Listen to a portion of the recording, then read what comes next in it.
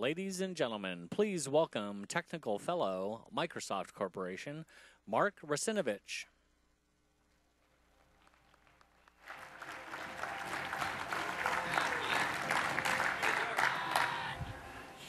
You want? Yeah, the duck. Here was the duck. One of you is the lucky winner of the duck. I don't know which one yet, but. All right, so why don't we get started?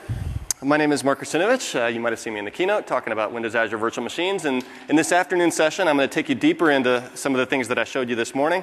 I'm also going to take you deeper into the virtual networking capabilities that we've also added as part of this release.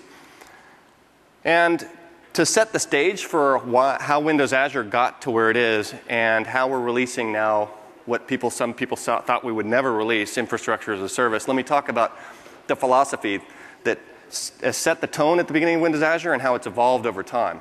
How many people have been using Windows Azure since its initial release back at PDC 2008? So uh, quite a few of you. And you know back then, the, it was designed with the promise of PaaS, Platform as a Service, where you just worry about the application, we worry about the virtual machines and the runtime. You give us the app, we'll deploy it, and then you get some nice benefits with that model of stateless scale out, eh, where you're not having to worry about the infrastructure. So one of the things that we quickly realized as people started to use the platform is that they had lots of existing apps and components that they wanted to bring onto the platform that they just couldn't because our application model was so restrictive. It was partial trust ASP.NET, essentially. So over time, you can see that we started to add things to relax the constraints of the platform and, and allow more code to be compatible with Windows Azure's PaaS. We added, for example, full trust in native code in uh, PDC two, uh, 2009. We added PHP and Java support. Then we RTM'd, and then you can see that we added uh, VM Role Connect, which was the ability to create a hybrid connection from the cloud back to a machine on premise. Most, uh, more importantly, though, we added admin mode, and that a lot of code that runs on Windows needs to run with administrative rights like setup programs. So if you had something like that, we needed to support that. We also added startups tasks, again for things like setup programs, full IIS, remote desktop, and then you see that we fleshed out some of our cross platform support in November 2011. We call those features that allow more code to come onto Azure on ramps. It's on ramps from the existing world, world of Windows Server to the future world of Platform as a Service in Windows Azure. And really, that journey takes a big step now with what we're introducing now, which is Windows Azure Virtual Machines. In Windows Azure Virtual Machines, our goal are listed on this slide. So when we started out saying, okay, let's take that big on-ramp step and make it so people can bring existing server applications up to Windows Azure, how do we define success? What are we shooting for? The first thing you see is that IT Pro experience, which means that we want to have it fully scriptable, automatable. You don't have to be a developer to get to, to use the virtual machine capabilities. You use the skills that you've already got. We wanted to support key server applications. And we actually used one particular application, you can probably guess, as the one that we would measure our success performance wise and compatibility wise. Anybody guess what application that is? No? Well, not close, but there's something more foundational than even SharePoint. SQL, right. So we said SQL. We got to run really well with SQL. So we started working closely with the SQL team to make sure that our performance was tier two, tier three kind of performance, uh, top of mid tier two performance for SQL. That was a key goal. We also addressed other apps, as you saw this morning. Easy storage manageability. How many people use EC2 from that company that's across the bridge from us in Seattle? So just one of you, the rest of you are being polite and not raising your hands. So no, thank. Uh, so actually, uh, one of the things that you notice about the way they architected their storage solution is that they've got things in Elastic Block, uh, block Store, EBS, which is kind of almost a roach motel. It's very hard to get stuff into and out of that. We decided up front let's make a big bet on Windows Azure Storage. We've got a fantastic high scale storage system already. We've got a rich API surface, management tools already developed for it. So let's go big, big there and put VHDs inside of Windows Azure Storage. That gives you the easy migration into and out of the cloud that you saw this morning.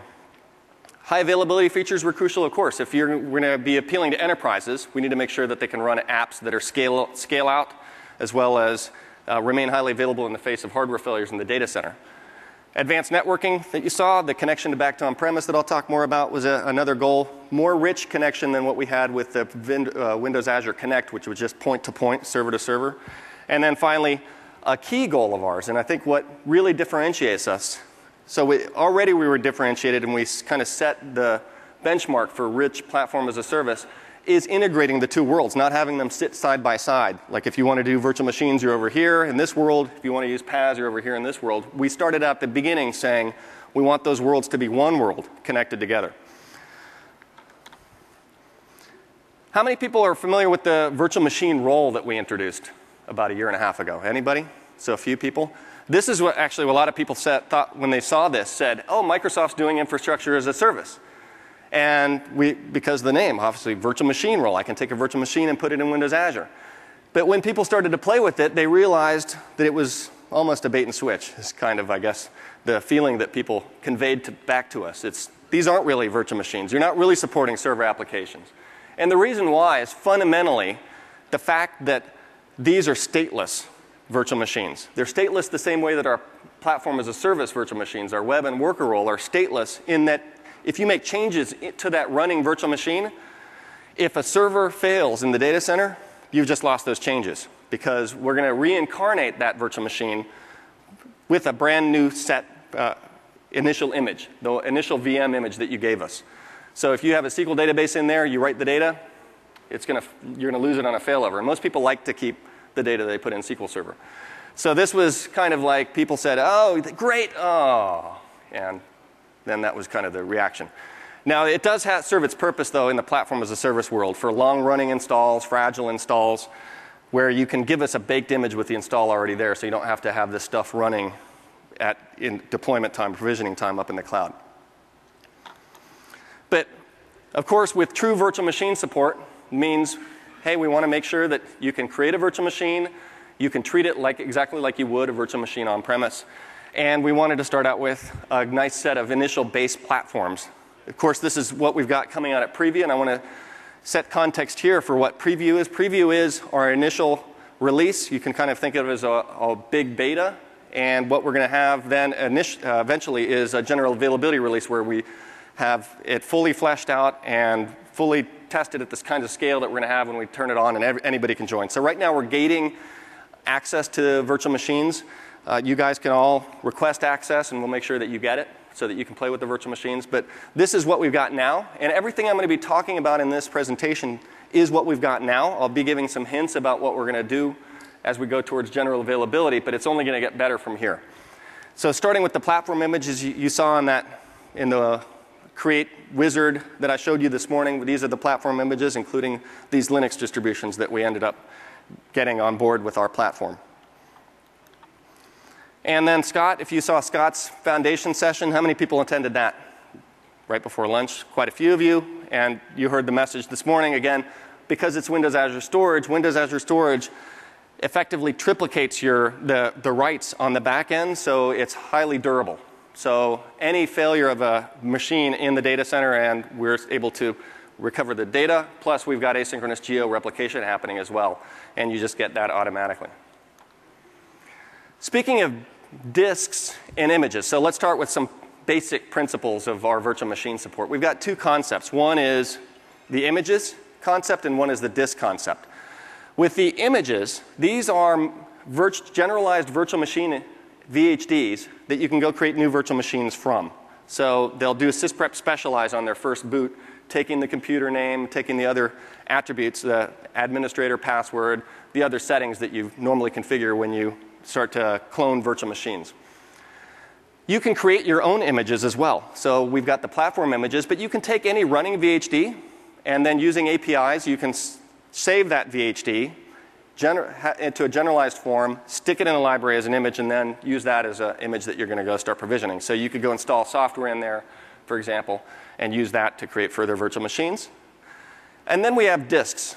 Disks are, of course, something that's not uh, something that you can take and create new virtual machines from or clone virtual machines from. Is they can, however, completely contain a virtual machine.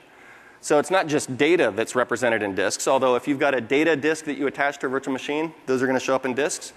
But you can also create a disk from a running virtual machine. Like I shut down my virtual machine, I've got a VHD there, and it's a data, it's a, a disk. And what I can do then is go create another virtual machine and point it right at that disk and just launch it. So it's not going to respecialize because you never generalized it. It's going to basically reincarnate that virtual machine with the other the new characteristics you've given it. So that's the distinction between images and disks. You can think of the images as being generalized images. We also wanted to make sure that we supported big scale applications that have a lot of data. So you can see here, these are the VM sizes we've got today. Everything from the shared core extra small all the way to the extra large 8 core machine. And the number of data disks you can attach to the virtual machine depends on how many cores, the size of the VM, all the way to 16. If you are familiar with Windows Azure storage, you know the largest size of a page blob, which is the kind of blob, there's page blobs that we've got as backing these things. And anybody know offhand the largest size of a page blob in Windows Azure storage? Just as a trivia question.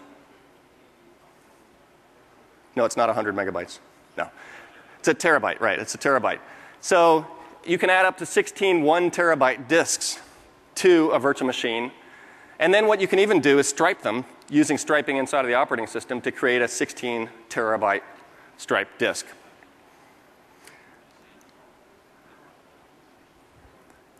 I'm going to show you that in a second, actually. But let's talk about the way the implementation underneath of the disks when you attach them to virtual machines.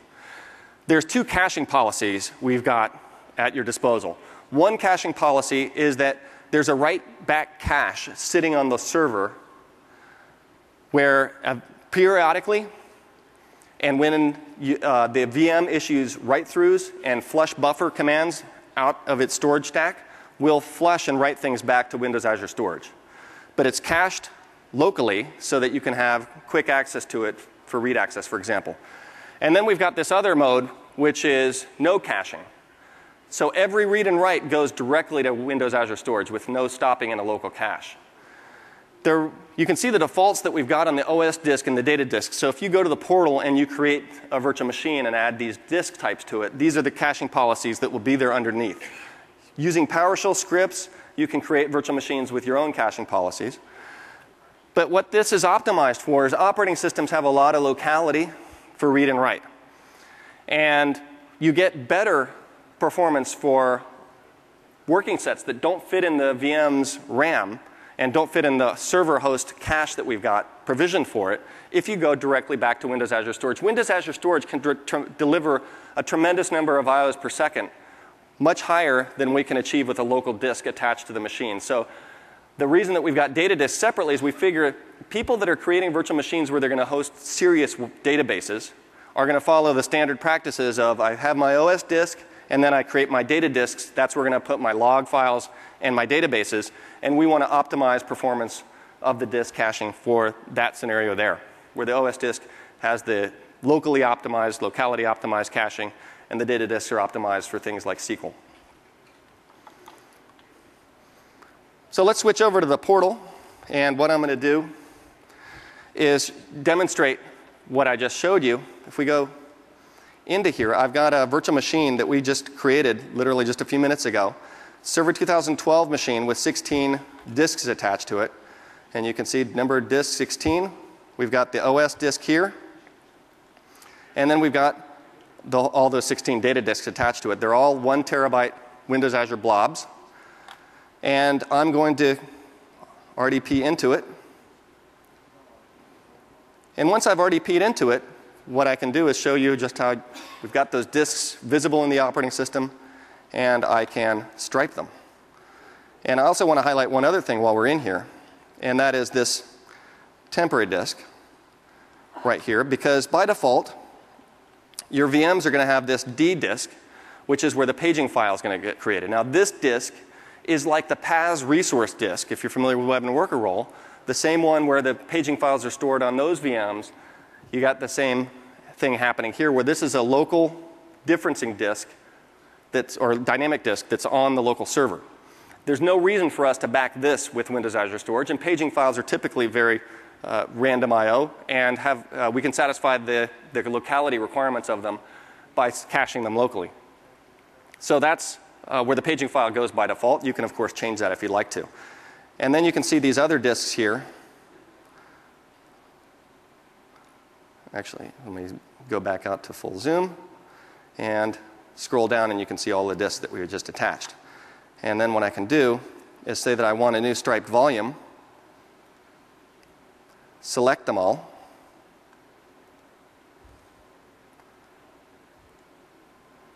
Assign a drive letter, say that I want a quick format. And in a few minutes, this is going to first convert them from basic disks to dynamic disks, and then it's going to create a stripe across them. And then we can create our massive SQL, uh, SQL database on that stripe. While I'm here, let me just talk a, just for a second about performance in Windows Azure Storage and how that relates to virtual machines. Windows Azure Storage is an adaptive storage system. So what happens is if you don't hit your blobs very hard, it's going to basically leave them on one server, of course with the replication, but it'll leave them on one server on the back end in Windows Azure Storage. If you start to hit it hard, what it'll do is find the hotspots and then split the blob across multiple servers. And it's approximately every 10 minutes it'll do more splits, up to about four or five splits, and that, that, according to the current implementation, Windows Azure Storage is always evolving, but that means that the harder you hit your data, the better SQL, uh, sorry, Windows Azure Storage will optimize for that access pattern, and the better performance you'll get. So one of the things we recommend if you want great performance out of these things, especially if you're going to like do a benchmark to kind of see where things are, is to warm it up. Warm it up for an hour, and then go start measuring. Let Windows Azure Storage learn what you're trying to do. And then you can see we've got our giant disk here that we've got creating from our stripe. So let's switch back to the presentation now. And I want to talk about something else that's maybe not so clear, and that is the distinction between a cloud service and a virtual machine. The way you might have heard cloud service being pitched at you is that a cloud service is the cool, wonderful thing that where you put your web and worker roles in, it's platform as a service. Well, to be more precise about it, a cloud service is a container. It is a management, configuration, network, and security container. So it just so happens that up until this point, we only had PaaS virtual machines that you put in this container. You can see here that we've got a web role and a worker role with number of instances in each one. Each instance is an actual virtual machine, a stateless virtual machine. But because they're in this container, that means I can deploy them together, I can delete them together, I get billed according to that as one holistic unit. They're within the same security boundary from uh, uh, in the future, they'll have their own identities and be able to access each other as uh, that same service, access other services as that service identity. But also, from a networking perspective, they are in the same virtual network. It, we just never called it virtual network, but there's a virtual network there, so they can see each other. You can ping the machines from each other. You can RDP to each other without having to go into an open input endpoints on the cloud service itself. If you want to access it from the outside, of course, you tell Windows Azure Networking that you want to open ports outside the container to let people in. So if you had a web role, for example, you'd open port 80 as an input endpoint to let the outside world get in to this container. But when you go to the portal, if you, let's switch back to the portal real quick. When you go to the portal and you say, I want to create a new virtual machine, you know that from uh, the demo this morning, that for example, if I pick one of these,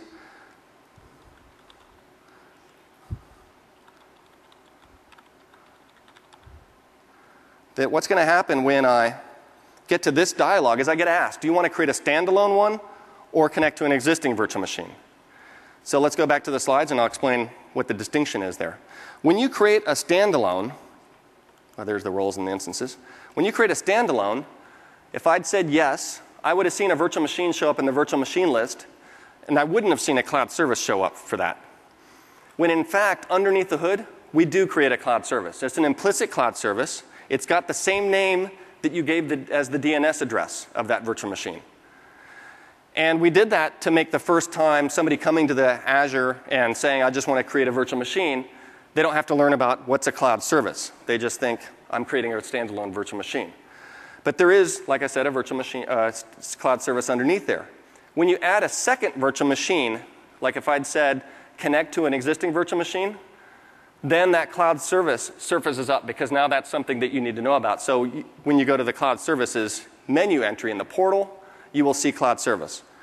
And now it's very clear that these things are part of the same container, part of the same security and network and management boundary. Also, if you use PowerShell scripts, PowerShell doesn't hide that stuff from you. It's just aimed at people going to the portal, kind of clicking through things. So in PowerShell, you will always see the fact that there's a cloud service. Even if you're creating a single virtual machine, you will specify the name of the cloud service.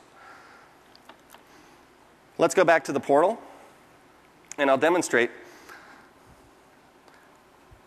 this by uh, the, these two concepts. So if I go and I look at uh, cloud services, I can see that well, I've got that, uh, six, uh, that 16 disk machine sitting here in a cloud service. Now, this got promoted to a cloud service because I'd previously added a VM to this, so it got promoted. I removed the VM, it still stays as cloud service. Once it's promoted, the portal never tries to hide the fact from you that it was a cloud service. But if I create another virtual machine now, which I'll do using PowerShell, so let me go to uh, PowerShell scripts here. And I've got a script here that will create a Linux virtual machine. So I'll say edit, and let's take a look at what this PowerShell looks like. So you can see these up here at the top. I've uh, picked a, a, subscription that the PowerShell then uh, scripts are then going to the cmdlets are then going to reference. So that's going to pull the management certificate out of there. Then right here, I'm telling it which image. This is setting a variable saying that I want a canonical image that the username I want to be Mark Russ, and that I want to name the VM Linux 1. And then here I define the new configuration. Uh, to create the new VM configuration here with the image name, the password. I say that I want instance size small. I configure the Linux things, and then you can see here, here's the service that I want to add it to. And so that's a required PowerShell parameter. And then once I'm down here, we're going to see that it's going to wait until the endpoint's created and then tell us that that machine is up and ready for me to SSH into it. And what I'm going to do is just run that. And this will take a few minutes to spin up that Linux virtual machine. It'll put it in that same cloud service as the 16 terabyte machine. Let's make sure that it have the same, the right TechEd IaaS, TechEd 2002 IaaS. So let's go back to the portal. And there it is, TechEd 2012 IaaS. Once that's in the same virtual machine, what I'm going to be able to do is putty into the Linux machine and then ping directly the internal IP address of that uh, Windows Server 2012 machine using the, the name, uh, its machine name. And I'll explain why the machine name shows up as well now, to something that used to not happen in Azure up until the release of these features. So we'll come back to that in a few minutes. Let's switch back to the presentation. And talk about some of the availability features we've got added to this release as well. So I met, you saw this morning that we were creating a big SharePoint farm. And when you get a SharePoint farm, you don't want it to go down. This is one of the downsides, actually, I think, and the advantages of PaaS versus IaaS is that in the IaaS world, each machine is kind of a unique state. It's a unique entity. So you babysit it, you coddle it, you feed it.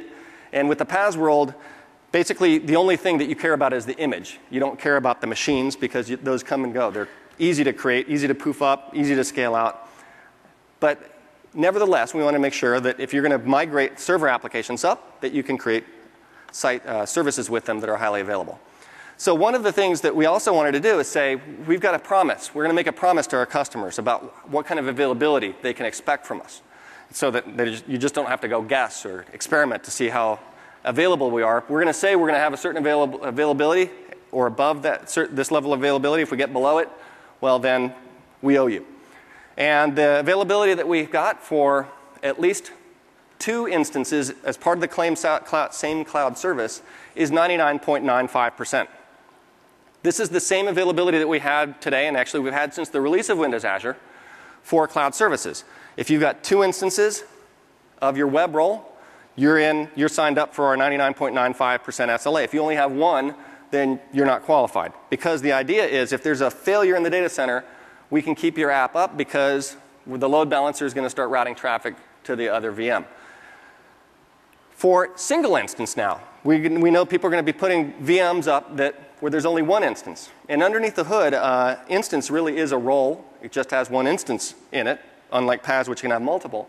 And we knew that people were going to come to us and say, what's the availability for these guys? And so we thought, what number can we come up with for availability? So 99.9 sounded like a nice round number. So we said 99.9, actually. We've, we've done the math on our data center availability and operations, and this is the availability that we're going to honor. It's not in place today during preview while we're making sure that we can meet it, and we fix any issues that stop us from meeting it, but it will be in place at general availability. So this is what's coming, is 99.9% for your single instance VMs. And I want to point out that this is a differentiator between us and other public cloud providers, or the other public cloud provider. and that if you go look at their SLA, it says 99.95, and it doesn't talk about you, it talks about their regions. So go read the fine print on their uh, uh, compute availability.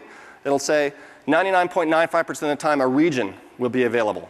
Nothing about a server, nothing about racks, nothing about even uh, different areas inside of a region. We are actually saying, we're, act, we're saying it about your server is 99.9. And what's included, of course, are things that are under our control. So hardware failures, platform software updates of the host OS on the hypervisor, any downtime you experience because of that, periodic maintenance, that counts against us. What's not included, of course, is things you do in your VM. We can't stop you from going in and making your machines unbootable, but we can handle our side of things. So this is an example of where if you had a single SQL server, you're going to get a 99.9% SLA for that single SQL server. Because we support SQL mirroring and we will eventually support failover clustering as well, you can get a higher SLA by using those kind of availability technologies at the application layer. So this is again the two SQL mirror example like you saw in the SharePoint application in the keynote where now you're going to get the 99.95% SLA across those two machines. How do we do this in the data center? And what happens underneath the hood when we do a platform update? How does that relate to this and how do you actually tell us that these two machines are related? let's talk a little bit about two concepts that if you're familiar with web and worker roles that you already know about, fault domains and update domains. So with fault domains, what we do is model our data center and identify any single points of failure. A server, and like I mentioned this morning, a top of rack router, a TOR, are single points of failure. If the TOR fails, all the servers in that rack are inaccessible. So with fault domains, what we do is we, when a service has a number of fault domains, that it requires, when you deploy that service, the instances of any particular role get spread across fault domains. And I'll show you a graphic on the next slide to highlight that. Similarly, when it comes to updates that you make to your cloud services, like your PaaS services, your web role or worker role, worker role, the platform supports update domains so that it will only bring down a, a part of the application, a part of the role at any point in time, update it, and then move to the next slice. These update domains, you get by default five of them. You can request up to 20 of them for your PaaS roles. So you can have it so that 5% of your tier, your role, will be down during your planned maintenance of that tier automatically just by giving us the update, and then we do the marching through update domains, making sure each, each slice is healthy before we march on to the next one. We also take advantage of update domains in another place, and that's the platform servicing. So we do have to service the platform underneath the virtual machines for security reasons and reliability reasons periodically. Today, it's about once a month. And that happens when, of course, you know about what time of month that's going to happen. It's related to. Now, what we're hoping to do is because there's a reduced threat surface area in the data center, is skipping any that are non critical and just releasing updates to the core OS that might affect uh, those critical patches as well as major reliability improvements. And so we're going to try to get down to every two or three months for the planned maintenance that would require downtime of the VMs. Now, that downtime of the VM is about 20 minutes as it, the host OS shuts down, reboots, and then the VMs come up. And again, that time counts against our SLA. So when we take a, a PaaS application and you deploy it, let's say we've got a web role with four instances, we've got a worker role with four instances. What the infrastructure, the fabric controller, which you can hear about more on Wednesday when I talk about Windows Azure internals, is going to do is spread these guys round robin across update domains and fault domains. They're not really directly related, just in the fact that instances get round robined across them. And by default, services get two fault domains. I mentioned they get five update domains, but two fault domains. That's today. In the future, you'll see us offer more than two fault domains for stateful services that store their data locally and want to make sure they can tolerate multiple failures. But today, what happens is we'll round robin. We'll say these two guys are going to, uh, two of each, half of each are going to go into different racks. And that means that if a rack fails, that we're not going to lose the whole service. In fact, we'll try to spread them out across more than two racks, but we guarantee a minimum of two. And then update domains too are applied into pairs as well. So we will not we'll make sure that update domains and fault domains at least don't conflict with each other. But now when we service the servers, we'll not take down more than two at a time. So with virtual machines now, we wanted to say, how do we give this capability to virtual machines? Because you have single instance roles. It's not like you can say, create uh, IAS front end for virtual machines persistent in the same role, because that's not the model that we've got underneath. We wanted to make it possible for you, though, to create, take advantage of availability uh, with the way that the PaaS guys do with fault domains and update domains. And so what we introduced is the concept of availability sets that you saw me demo in the mo- morning, show you in the morning. When you put multiple virtual machines in an availability set, it's effectively making them a virtual role from the perspective of the platform. So just like for the web role or worker role, we'll spread these guys across update domains and fault domains. We do the same thing here for the instances that are part of an availability set. So we'll put each one of these in a different rack uh, one half of each availability set that we've got there. One availability set, for example, for the front end, and one for the back end. And similarly, they'll also go in update domains as well. So now when we service the host software periodically, we'll make sure that we only take down part of your front ends as well. And for example, if you had a scale out front end where you had 20 front ends, you could request, again, 20 update domains, and that means that we would march through servicing the servers underneath such that only one of them would be down at any point in time. So let's take a look at, uh, in the portal at configuring availability. And for that, I'm going to show you an example application that I've got here. It's this application here. If I go into Fabrikam Cloud Apps, you can see the list of uh, instances that I've got in it. I've got this is a, a two tier app, a web front end, and a SQL backend. In fact, it's the same application you saw me show this morning, this Event Manager app, except I've broken it into two tiers. It used to have the SQL database sitting there right on the same server as the IIS front end. So I've broken it into two tiers. I've also scaled it out so that it can be highly available. So here's the front ends. Here's the SQL witness for a SQL mirror there on the back ends. And if I click on the front ends, again, I can go to configure. And what I'm going to see is that it's part of an availability set. And now those two front ends are part of availability set, so it's exactly like the diagram I just showed. We're putting them in different racks, and we're going to service the servers underneath them independently of each other. So let me switch over to my laptop and show you that uh, a tool that I've, we've got called Fabric Viewer that will let me look as somebody that can access these kinds of tools internally at the placement of services in our data center to show you that these are actually on different uh, racks.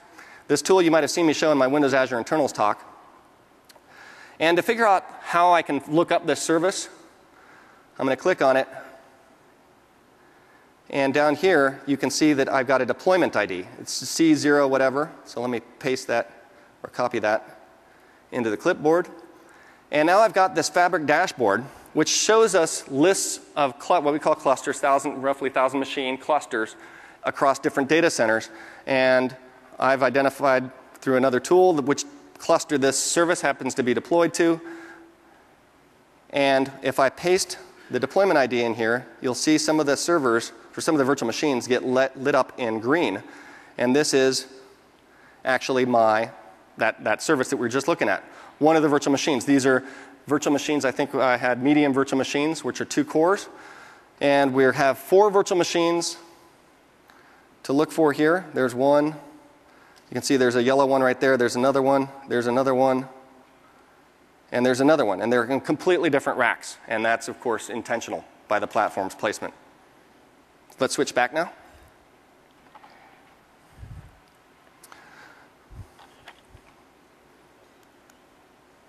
Uh, let's switch back to the slides, please. Let's delve into Windows Azure networking now, because we've added a, a, bunch of new features in Windows Azure networking to enable some cool scenarios, some of which you saw a little bit this morning. I'll delve deeper. One of the first things that we're doing is we're giving you full control over machine names. So when you actually create a machine now and you give it a virtual machine name, that name is one that you picked and also it's registered with what we call Windows Azure DNS or Windows Azure provided DNS. So that means it's registered in the DNS namespace for the cloud service, and that means that name is accessible for lookup by any of the machines in that cloud service. Let's switch back to the portal view, and let's see how our Linux VM is coming. So here's my Linux VM. Let's get its SSH requirements. So it's uh, SSH details here. And I'm going to run PuTTY, which is a little SSH applet. And this is the port. This isn't the standard SSH port, and I'll explain why not shortly.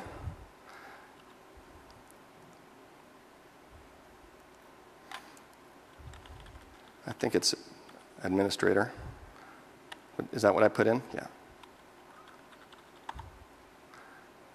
Oh, actually, what, let me make sure the. Uh,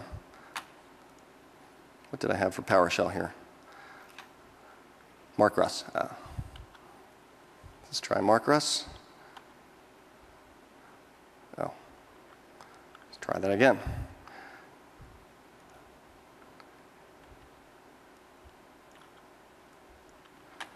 Go back to the portal. Did I close the portal? Oh, there it is. And get that DNS name again and paste it and do mark Russ.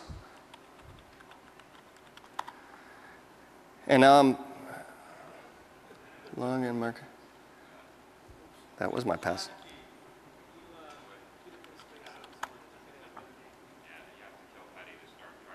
Oh, I have to kill PuTTY completely? I did quit PuTTY completely, actually. All right, so this is 54. I just did this, so it worked a minute ago. Oh, I, did, I didn't press. Oh, the enter key stuck. That's what the problem was. Yeah. Whoops. It's memorizing 50 different passwords that we're using up here.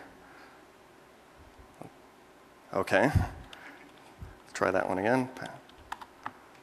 I feel like that. Yeah, I'm in. Isn't that awesome?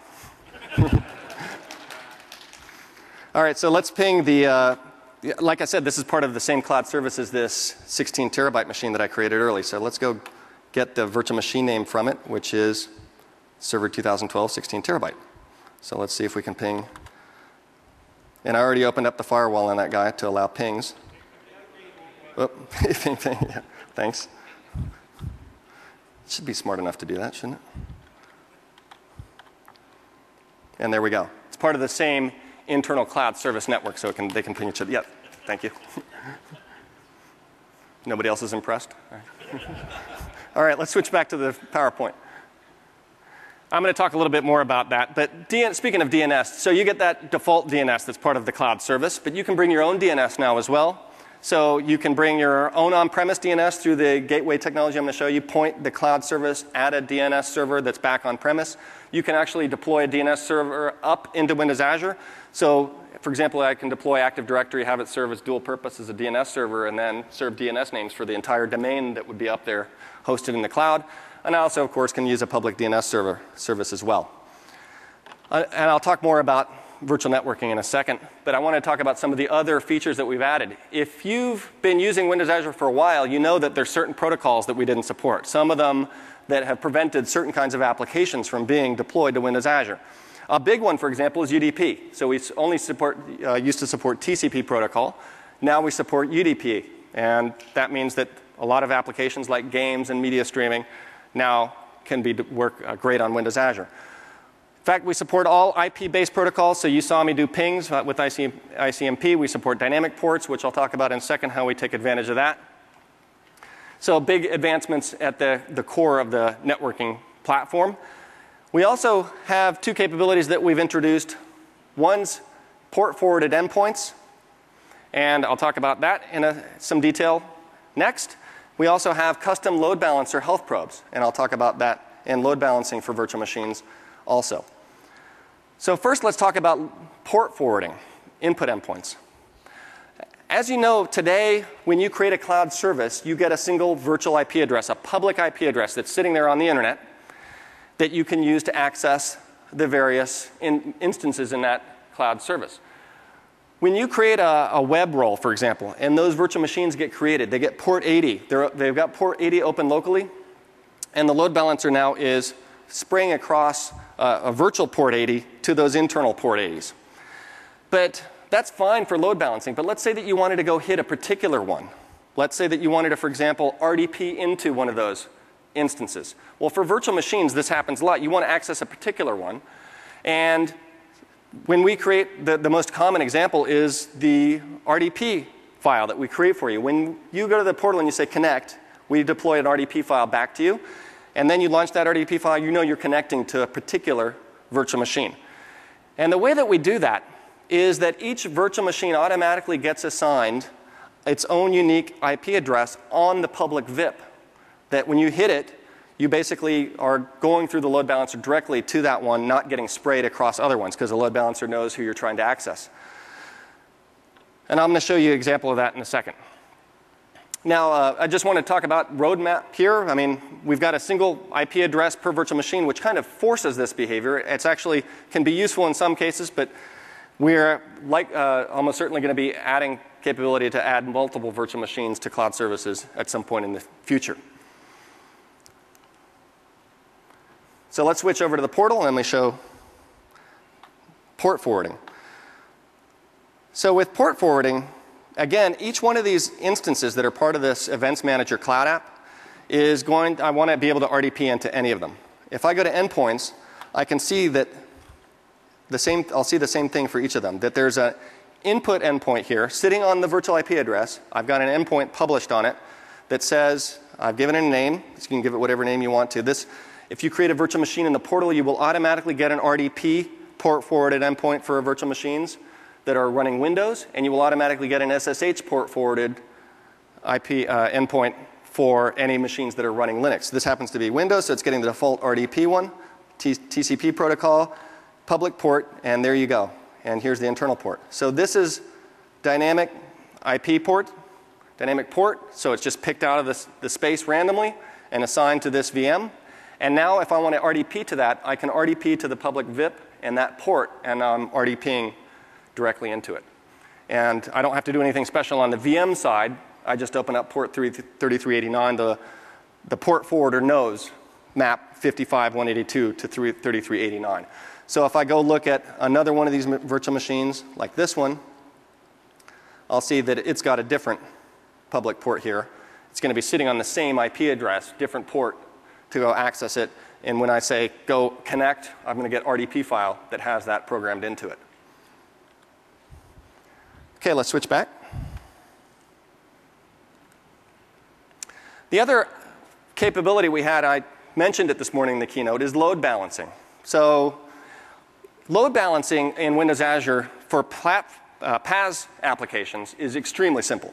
You basically create a web role, and then you say, I want to map port 80 to this web role. And that means as that web role scales out in instances, the load balancer is going to automatically include those instances and spray across them to port 80s.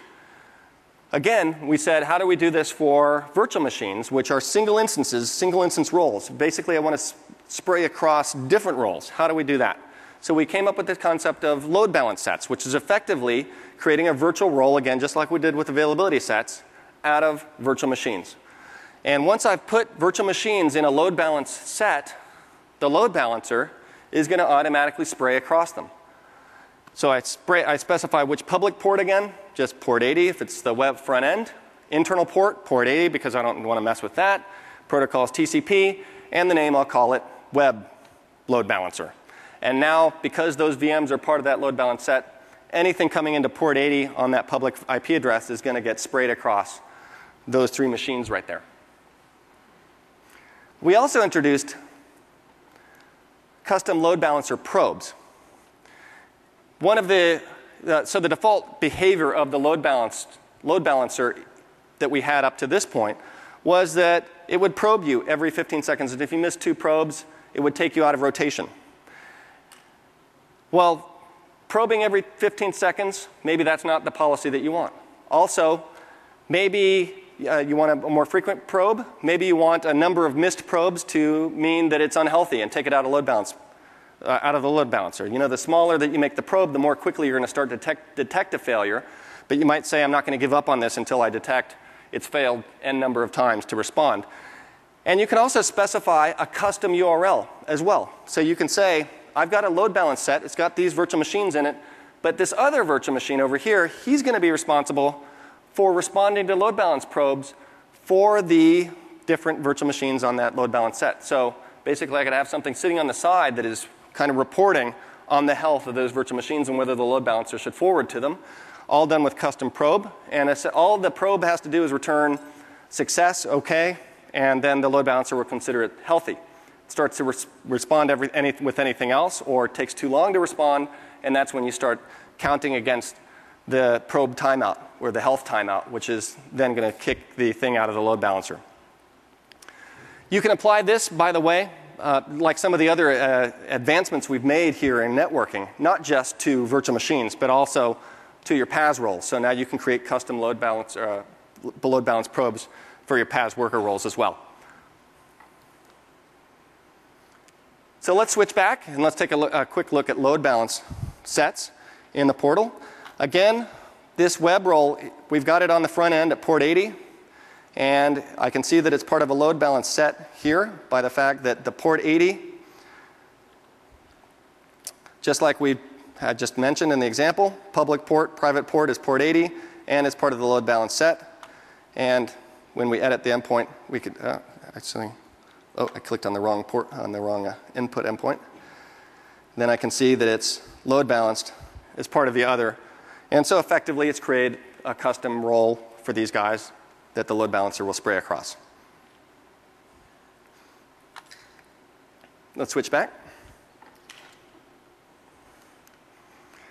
Let's talk about connectivity, site-to-site connectivity, and machine-to-machine connectivity. Anybody play with Windows Azure Connect, the point-to-point connectivity solution we introduced about a year and a half ago? So what that does is let you create a, stick an agent on a machine on premises. I guess I was, somebody scolded me for not saying it properly. It's not on premise, it's on premises. So I apologize if I offended anybody this morning by saying that. So on premises, uh, you got a machine on premises, you put the agent on it, and you wire it up to the uh, Windows Azure Connect endpoint up in the cloud. And now the machines that are part of the cloud service that Connect endpoint's part of, because you've stuck the plugin in them, is going to be able to have a private IP gateway uh, tunnel between the, the two, the cloud service and your machine on premise. And you could effectively treat it as if it's uh, on premise, a part of your local network. The problems with that, I mean, that, that has some great applications. For example, dev test. I want to create a private tunnel up into my machines that I'm testing in the cloud. I don't want to put them on the open internet while I'm messing around with them. And I want to just use my local tunnel. That's one example. I want a domain join through a private connection back. The downside of that is I got to stick the agent on the domain controller itself to have it see the cloud machines. So we've gone a step further now with Windows Azure networking with site-to-site connectivity. So that's what I'm going to talk about now. It's built on a technology we call Windows Azure Virtual Network. And Windows Azure Virtual Network has capabilities that are useful by themselves in the cloud, as well as for creating a hybrid scenario of connectivity of the cloud to on premise. The connect hybrid one is, for example, I want to, again take this, these machines up in, this, in the cloud and domain join them, but I don't want to put an agent on my domain controller. I do the standard, more enterprisey thing of creating a VPN device, wiring that up into the cloud, and then projecting uh, subnets up into the cloud that those virtual machines now are part of so they can appear on the basically the IP space of my corporate network. And then the other example, like I mentioned, that a use case for virtual networking is without the gateway, just to c- connect different cloud services together in a virtual network. In fact, the way I think of it is a cloud service. Remember, I said it's a container for management and for security and for networking. I think of it as having its own, uh, its own implicit virtual network. You, can, you saw that I was able to ping one machine from another. Their IP addresses are all visible to each other. They've got their own DNS name resolution. What virtual networking does is takes that concept and lifts it off, and now I can put multiple uh, different virtual machines and cloud services into a virtual networks so they can see each other. So this is an example of where somebody would want to create a cloud service where your backends, you don't want them sitting out on the open internet at all. So I've got my front ends there that are sitting listening on port 80, and now my back ends with my SQL database in it, they're accessed only through by the from the front ends privately by their IP addresses or through, by their names with a DNS server that's either up in that cloud service, one of those cloud services, or on premise, or a public DNS service. And now they can talk to each other without my SQL databases being exposed on the open internet. Here's an example of this particular application we've been looking at, this two tier application. I've actually domain joined those machines. And not only that, but they're part of a directory that is, has a domain controller that's on premise. It's got a domain controller up in the cloud, just so that it's close, but it's part of the same domain as is on premise. Two sites in the directory. So this is the architecture really of what we've been looking at, and now I'm going to focus in on the VNet part of it. So let's switch back to the portal. And the fact that we can see that it's part of the VNet is if I go over to virtual networks or networks, you can see I've got this app VNet here. And this gives me the information about it. I've got three subnets. The back end is where the SQL databases are. The front end is where the IIS servers are. You can see a gateway VPN to, that I've named Corp on prem. And you can see that I've got two DNS servers configured. One's in the cloud and one's on premise. So now, if the cloud one failed or the on premise one failed, I still can do DNS name resolution because I've got a pair of them going. You can see as part of the VPN, I've got statistics on how much data is flown in and out, as well as the IP address of the gateway device itself. And then the machines that are all part of this gateway. So you can see I've added a whole bunch of machines to it. These are the virtual machines that, the, uh, that we've been looking at. They're added to that gateway. Let's take a look at how that gateway actually works by RDPing into the domain controller that's in the cloud. So I'm going to connect here.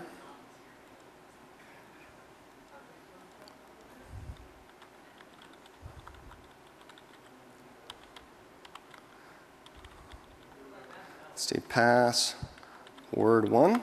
Oops. And actually, uh, let me show you this first. So this is the domain controller sitting in the cloud. And then what I've done is just RDP into the domain controller sitting on premise by its IP address. And that IP address right there, 192.168.1.6, let's go take a look at where I got that. I got it.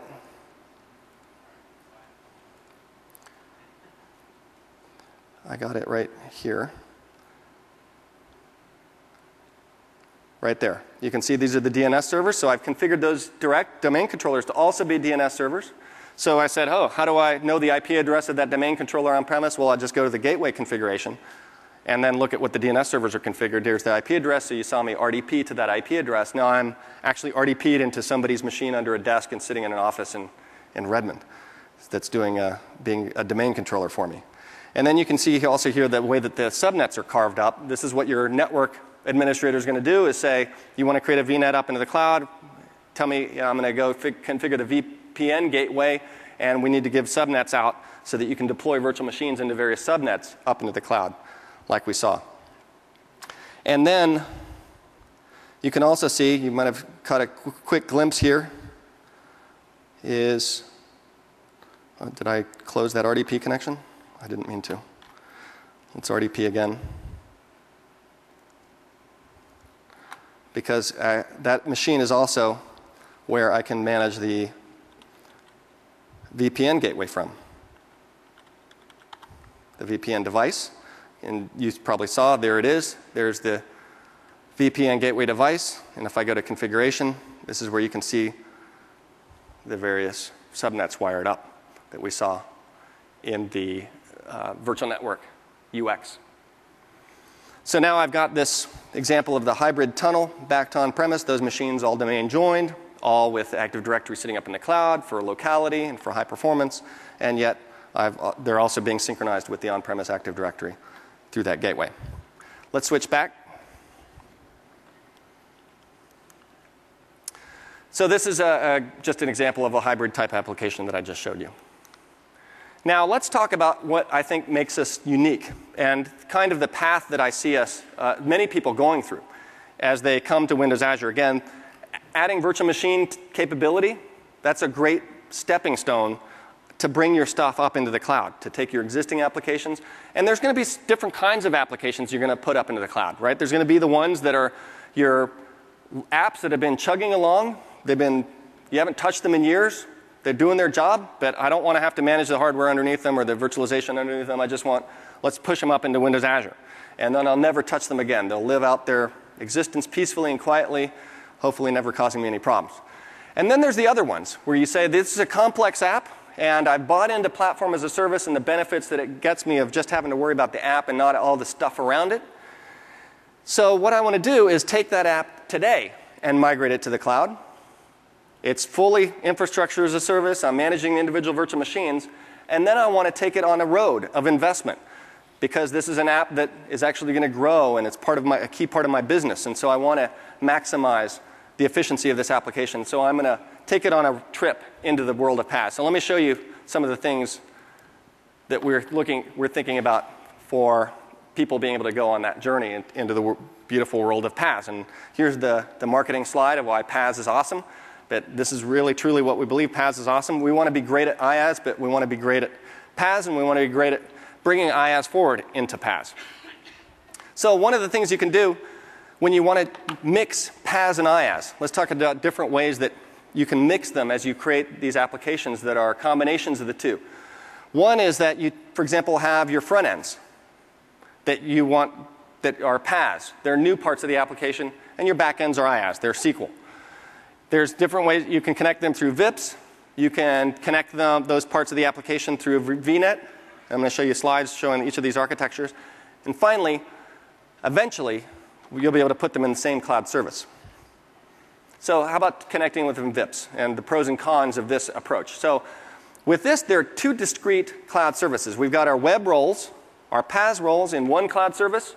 We've got our SQL databases, IaaS roles, VMs, in the other cloud service. And they've got public endpoints, they've each got their own VIP, and they can talk to each other through the public endpoint, through the load balancer. That's just possible today. No, no special magic. In fact, the system doesn't know that there's PaaS or IaaS you know, behind each one of these doors, just that it's doing the, the appropriate network routing. Now, the strengths of this approach, you get to manage and, and deploy the lifecycle of each of these independently of each other because they are two cloud services. So there's anonymity, or autonomy, sorry, autonomy in managing these things. The, you get VIP swap. Now, that's something that we don't have today. Like I mentioned, VIP swap is a PaaS thing. It's where you deploy a brand new version of the service, and then you take the production IP address and you flip it over to the new instance. Well, think about that with, with virtual machines. Let's say I've got a cloud service with SQL instances within it. How do I deploy another version of that whole service with new virtual machines having SQL in them without on the flip over losing data because I don't, my SQL databases over here don't reflect the state that they had over here at the time of the flip, only when I actually synchronize them in the previously. So VIP swap is a lot harder to, and trickier to do when you're talking about persistent VMs. So here with here, you can still do VIP swaps on the front. You won't VIP swap on the back, of course. Then the persistent service is easily accessible through the, from other, even from other services through that front end. The, the weakness is you're going through the load balancer here. How much does the load balancer cost you? It's about half a millisecond in each direction. It adds to the transit time, a little under half a millisecond. So you're paying that overhead, whereas if you went direct to direct without going through the load balancer, you wouldn't pay that overhead if they were part of the same cloud service, for example. It's a little less secure because now you've got your SQL server sitting there on the open internet. So if somebody could hack at that front entrance, maybe get in. And it's got the management deployment overhead. You're actually managing two services. This next option is connecting them with VNets. So we've seen how VNets, I can basically connect a hybrid scenario. How about connecting cloud services to each other with VNet? Now, in this case, I've got two cloud services, and I can deploy them both to the same VNet. What that does is their IP addresses now are visible to each other. And if they've got a common DNS server, they can also do name resolution against each other. The short, uh, so it's more secure, low latency. You're going not they're going through the load balancer. You still get the autonomy of managing two services. You still get VIP swap on the stateless services. It, it, it's got advanced connectivity requirements. It satisfies those. The weaknesses are yeah, VNet. You've got to know a little bit about networking and subnets to mess with VNet. So it's got that downside to it. It also, we don't have Windows Azure provided DNS for VNets. Now let me clarify what I mean there. You notice that with a cloud service, you can look up the names of other virtual machines that are part of the same cloud service using DNS. Uh, implicit DNS that's part of the cloud service VNet. Well, that cloud service DNS server service, we haven't, we haven't glued it to VNet. So VNet, if you take a VNet and you put two cloud services in it, they each have their own DNS, but there's no DNS that encapsulates them both today. So that's something we're working on too. In the future, you'll see VNet with DNS as part of that whole bubble, so you can put everything in it. So you'll need to bring your own DNS. Put your own DNS server up there or connect it to on-premise DNS server. So let's take a look at uh, Events Manager. I'm going to migrate that app. Remember, what that app today is, is uh, IIS front ends, SQL Server backend. Let's take a look at how we can take that app and migrate it to PaaS, start to migrate it to PaaS. Let's switch over to the demo machine. And so if I launch Visual Studio, here's that app right here, the Events web app. This is what I've deployed into that IIS front end. Now let's say that I want to take that app and I want to add an existing project. Whoop, sorry, I want to, sorry, create a new project. Add, new project, and I'm going to create it, turn it into a cloud service. This is part of the PaaSifying the IaaS uh, web role. So I'm going to call this Fabrikam Cloud SVC. Say OK. I don't have to add any roles because what I'm going to do is take that web app and make it into a role. So I'm going to say OK. And now I'm going to say roles, add web role solution in project. And there it is, events.web. And bingo, I've just PaaSified that IIS project right there, so into a cloud service. The last step I'll have to do is wire it up into the VNet.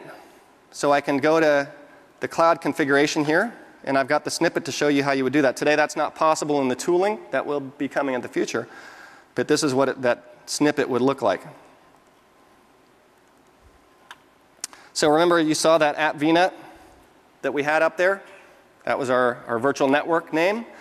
And what I've said is this role, which matches what I just created, that I want to put it in this subnet right here, the front end subnet, which you also saw on that list of subnets that were created for that VNet. So now when I go and publish this thing up into Windows Azure, it'll be a new cloud service, part of that VNet, and because uh, the connection string, which is in web deploy to the SQL server, is unchanged, and because there's DNS, because we've got the Active Directory domain controller as part of that VNet, I've got DNS lookup, and so I don't even need to change the connection string. When I deploy this, which I already have, let's switch. Oh, no, sorry, don't switch. If I go back to the portal and look at cloud services, that is this right here, this cloud service, which is now just the two front ends, and they're connected. They're part of the VNet, and they're talking directly to that backend SQL database. In fact, if I go back here, click on this, here's my standard app. Now pulling the data from that backend SQL server, just like the full IaaS one that we've just we've been looking up into this point. Now let's say that we wanted to go this full way. This is the we want to take. Let's switch back to the slides. The full the actually let me just show you the full way. Let's switch back. Is to take that um, that front end, and instead of having it talk to SQL Server, have it talk to SQL Azure. What do we have to do to make that happen? It's as easy as going to the web config, uh, so uh, web deploy, or web conf, where are we? You can see how often I'm, i mess with IIS. Web config. And here's my connection string right here, which is talking to SQL Azure or sorry, SQL Server. This is the SQL Server database. I'm not going to scroll over so you can see there it is. And uh, if you go back and look at what we had here, there's the data source, 10.3.4. That's one of the SQL servers. Remember, I had them set up in mirroring, so there's the failover partner right there.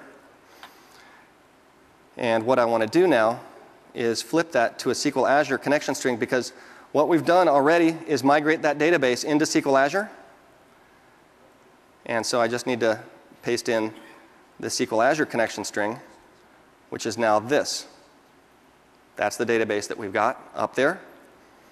And we've taken that app and deployed it as well, and it's right here.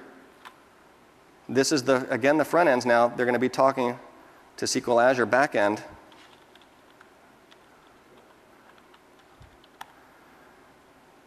And it's going to show us the connection string that it's using on the front page when we log in.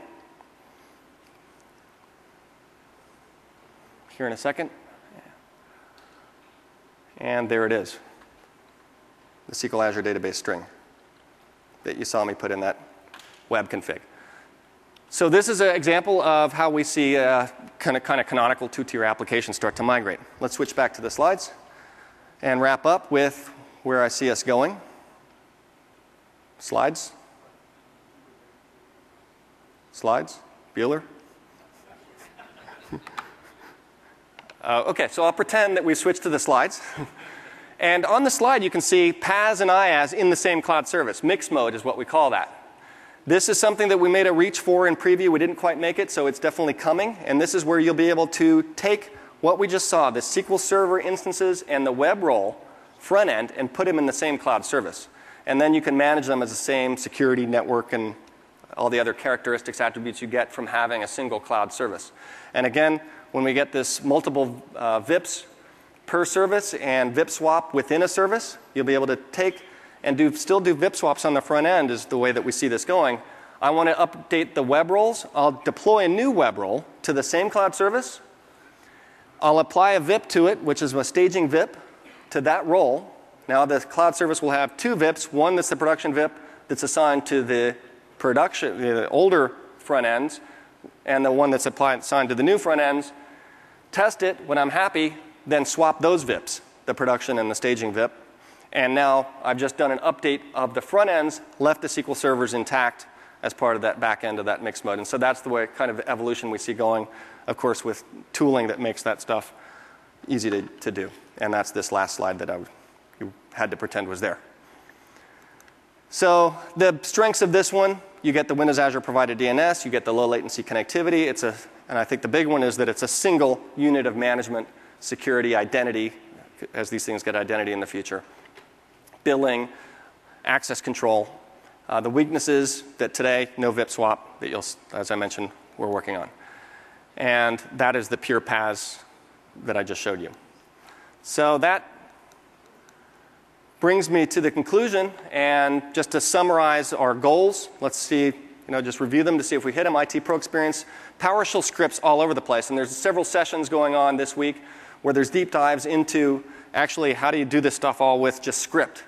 And scripts give you a lot more power than what you can get through in the portal. Of course, the automation is nice. Support for key server applications, you saw this morning. SharePoint, you saw Active Directory, you've seen Active Directory here in SQL. This list is the initial list.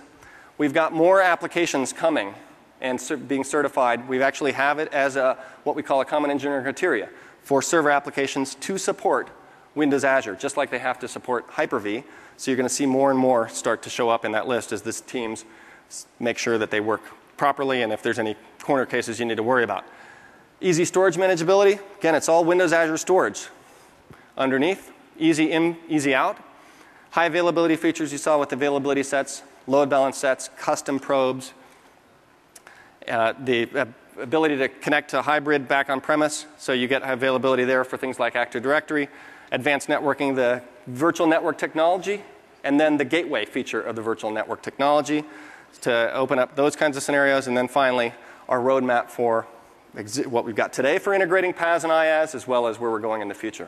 So I think that we're off to, I, I feel really good about our start, especially this is the the V1 of our virtual machine support. As, like I said, it's just the beginning, it's just the preview, and we've got a whole bunch of things coming, including performance improvements, some massive ones that I'll talk about on Wednesday, give you a look underneath the hood of what we're doing performance wise with IaaS, uh, as well as fleshing out some of the more of these features that, that you've seen the start of.